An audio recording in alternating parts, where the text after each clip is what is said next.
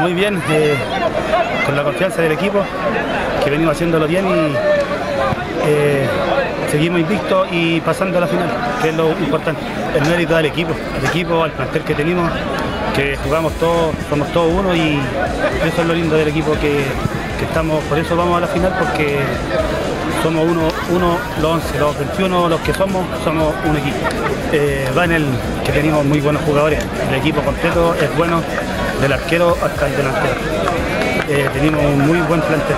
Eh, no, tenemos que ganarlo, tenemos que ganarlo, te- así como se ve, eh, tenemos más equipo que ellos, pero no hay que confiarse y seguir paso a paso nomás, que estamos en la final gracias a mi Señor Jesucristo, Muchas a mis familiares, a todos mis familiares, que gracias a Dios estoy mejorando cada día mi vida y, y superándome como persona.